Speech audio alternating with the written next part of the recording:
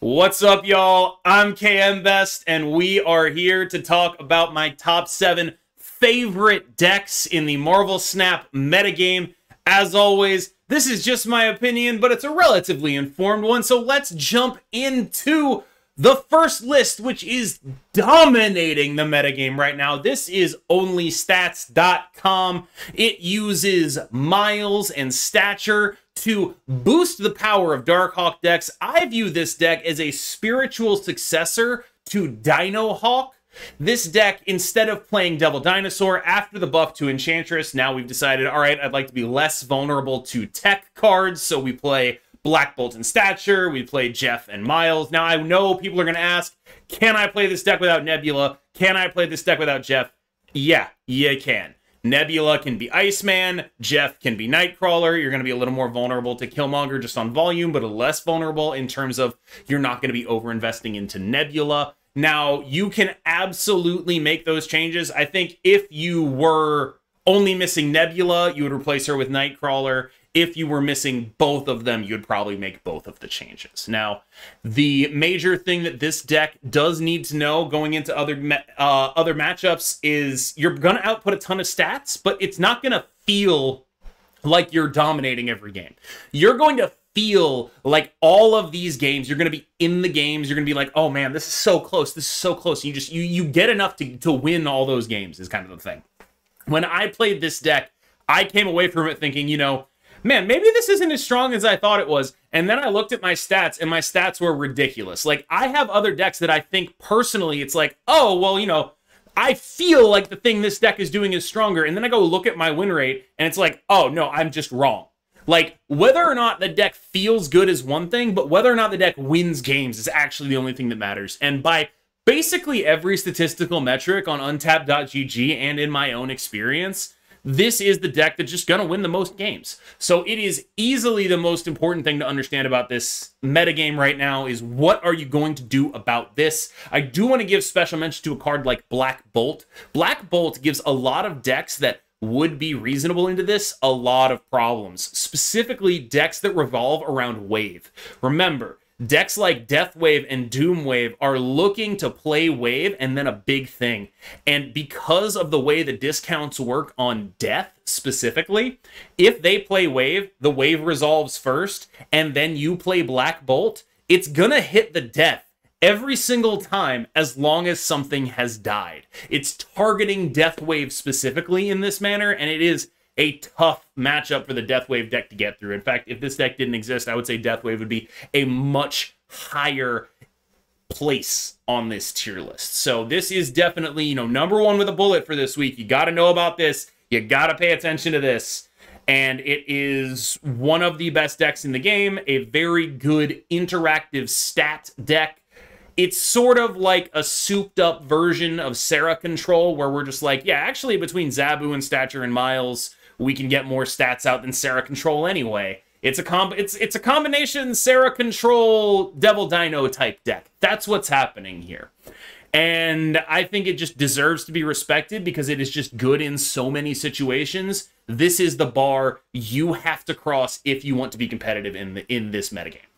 Next up is my build of Serra Control, and I totally understand if you think, hey, KM, this is not the build of Serra Control I would play. I want to play Zabu and Darkhawk in it. I get it. But I think if you want to play Zabu and Darkhawk, you want to be playing the first deck we talked about and not Serra Control. I think the upsides of this list are best maximized by a list that's built like this. I also think that perhaps if you did want to play Serra Control with Zabu and Darkhawk instead of playing the only stats deck, the reason for that would be the gaining of Killmonger as an option in the list. So I do think that's definitely worth pointing out that the upside of having Killmonger is significant. You can see I'm still running leader here. It's kind of just a ladder thing at this point. Originally, I had it in there as a way to combat Sandman, but Sandman has really died down recently, partially because it's predictable and partially because I feel like there's something there still, but I can't get my fingers on it. I can't get to it. I feel like there's something there with Sandman, but I can't get to it. And I think a lot of other people are having the same issue with like building a Sandman deck that actually makes sense into such a varied metagame. So I do think that like it's easy to look at all these decks as decks that explode on turn six and then Sandman beats them, but it's like they're a little bit better against Sandman than you think they are a lot of the time. And Serra Control, here we have the leader. We're a little bit better against Sandman than the Sandman gamer may expect. And of course, we also have just a ton of other options for our turn six Hit Monkey combos, Mysterio with the Hit Monkey, whatever tech cards we want to play just options, options, options, options. One of the things that you'll notice with other lists is they may feel pressured to actually tempo out an Enchantress. This deck is almost never tempoing out an Enchantress. It's always going to be able to save that to try to hit the Darkhawk on the final turn. Definitely something that will come up for you. I very rarely tempo the Enchantress. This deck is my pick for most underrated deck of the entire metagame right now people are running around looking for like what beats the onlystats.com deck. This deck. This deck has a very good heads up matchup into it because it simply goes bigger. Our numbers are bigger than their numbers most of the time. That's just how it is. And it is so scary to play against this deck. When you play against this deck, you end up in a situation where like if they play Moon Girl and Snap, it's like one of the scariest possible outcomes you can ever experience. It's like, oh my god, they could have anything in there. There could be any amount of power going anywhere with a list like this. One of the weaknesses it does have is it can be a little inconsistent. You are trying to do one thing basically all of the time. You also are generally not very good into lists leveraging Storm. Lists leveraging Storm are on the upswing right now because of Nebula. So you do have some weaknesses that are in the metagame. So generally, you know, your turn fours are mid, your turn fives are mid. You're not great into Professor X decks. You have to like make hard reads. I played a lot against like a Storm Professor X lockdown deck, and you basically just have to be like, all right, well, they're going to Professor X, so I don't get to do my combo this game. And that's not really where you want to be, but generally your power output can keep you in those games. This is still a powerful list. There's been a lot of messing around with different shells in it. I know people have been talking about Goblin and Titania in this list. I personally believe that that just sort of takes away from some of the power that this list has. I think that the focus on the pure combo is better for it right now. Uh, the Goblin Titania stuff is very cool and very slick, but I personally believe that your win rate will be better if you just play for your combo. Next up is Deathwave, and I kind of agonized over whether this list should actually be on here, but here it is. This is Deathwave. This is what it's always been, and this list, piloted by Danny, took down Saturday's Snap Battle Arena. Uh, I watched him beat Galactus. I watched him beat the OnlyStats.com deck. Although I do think a lot of that was just he played very well. And I don't know exactly how reliable the matchup that Deathwave has into that Only Stats deck is. I personally am under the impression that it is not a good matchup, and you have to be very aggressive when you play it. Now, this deck is on here just because it is likely just one of the better wave decks, right? One thing to keep an eye on when you play this deck is it tends to not do a lot in the early game. Like, the reason Doomwave exists as an archetype without the death stuff is because Doomwave is more easily able to get out on the board, whereas Deathwave is really reliant on I get to blow up my Bucky. That's tough. Like, it's tough. And the reason this deck is coming back is because there's a lot less armor, there's a lot less Cosmo, but there still are things like Polaris that are going to disrupt you, right? Like, this is still something you have to respect. And I think also this deck is on the upswing a little bit because there's a lot more people playing junk decks right now and Deathlok and Carnage when there's when the meta is favorable in that way. Deathlok and Carnage are just like incredible cards against junk decks. Someone plays a green goblin, you blow it up. Like it's just that's just really, really, really tough to beat if you're the Green Goblin player. So really, I think Deathwave is benefiting from an upswing in junk decks, a downswing in the amount of armor in Cosmo, and that's why I have it here. I think it has a relatively unfavorable matchup into the best deck in the game, but it is pretty okay. in the matchup. Like it's not god awful. It's just awkward a little bit. Like there's a little awkward things that you'll have to learn how to navigate. Like Black Bolt always hitting your death after the wave is just like uh stature and miles working through wave is just like uh, there's a lot of things in the matchup that are just like, oh man, I wish that didn't work like that. And unfortunately, it does work like that. Next up is Galactus. Uh, longtime viewers of the channel will know that I'm a big booster of, you know, Shuri, Galactus, Taskmaster stuff. I, I have loved Nimrod Galactus ever since.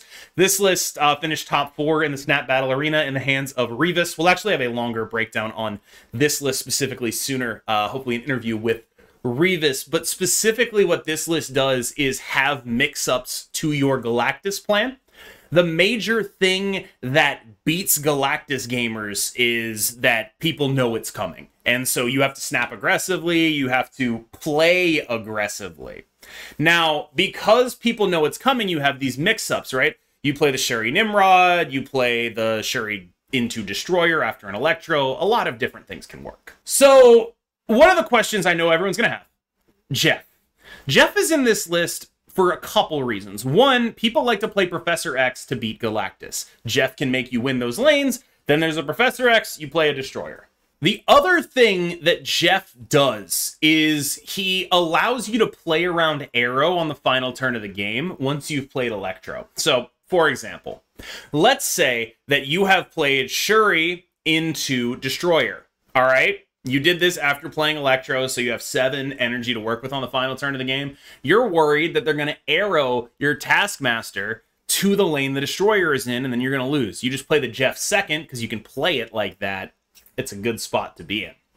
So Jeff generally is just really good. It's another card that, like, okay, you play it early and they Polaris it, and you're like, oh, wait, I don't care. I can move this out of that lane. You don't actually get to stop my Galactus. There's a bunch of little different weird upsides with him that really make him stand out in this list. So if you want to play Galactus, I think this is the way. You can also try replacing Daredevil with Kang if you're into it. Uh, another thought process would be we could replace Daredevil with Shang-Chi. Either one of those seems plausible to me because right now, you know, Daredevil opens you up to getting Polaris. That's a big risk that you run, especially because Polaris is gonna be in the OnlyStats.com deck. Stormwave, an archetype that evolved out of a list that Shade and Kawatek uh, came up with. I believe Shade came up with a list, then Kawatek won a small tournament with it. And I, I have a little bit of a different take on it, sort of reacting to the results most recently, reacting to what I expect to see on ladder.